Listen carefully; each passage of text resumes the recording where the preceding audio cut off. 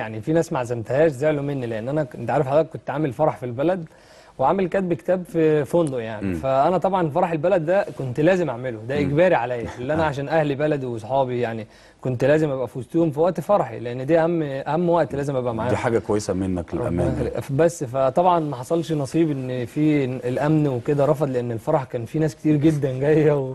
فهم خافوا عليا وخافوا على الناس. فطبعا آه، كل احترام للأمن بتاع بلدنا وأول ما كلموني وكده ما اتكلمتش وطلبت واللي هم قالوه طبعا وافقت عليه جدا.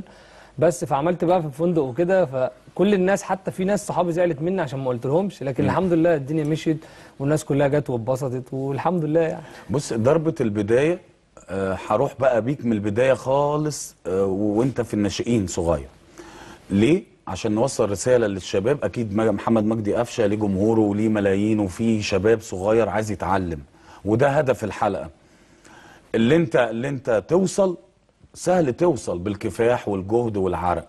ضربة البداية فين وانت صغير؟ لعبت فين؟ مركز شباب إيه؟ آه ابتديتها إزاي وايه اللي حببك في الكورة؟ بص يا كابتن أنا كنت يعني كنت كل حد وخميس وجمعة ده إجباري عندنا كان في لعب كورة. يعني مع أبويا وكده وأصحابه والناس كده كان الثلاث أيام دول.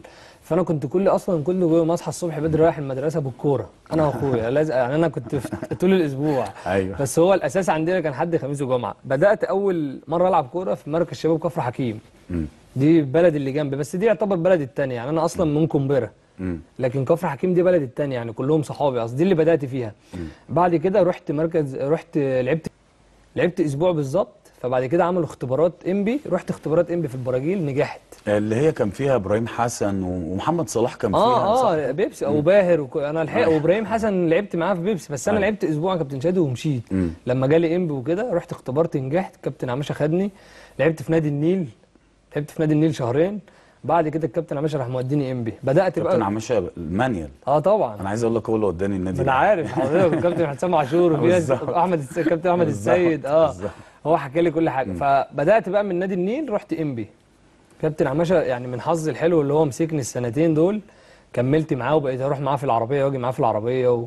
وحصل بقى ظروف مادية زي ما قلت لحضرتك فاضطريت إن أنا أبعد شوية. بعدت إيه الظروف المادية؟ آه، يعني ما كانش معايا فلوس اللي أنا أقدر أروح واجي و- وبصراحة أنا مش من النوعية اللي بتقل على أبويا وأمي وكده. يعني أنا بحبهم يبقوا براحتهم ما احبش أطلب بقى والكلام ده أحب يبقى براحتهم يعني. فالدنيا في الماديات أثرت معايا شوية. رحت قاعد أسبوع ما رحتش انبي اشتغلت بقى في سوق الخضار وكده. فالكابتن عماشه كلمني قال لي لو ما جيتش النادي بكرة أنا مش عايزك.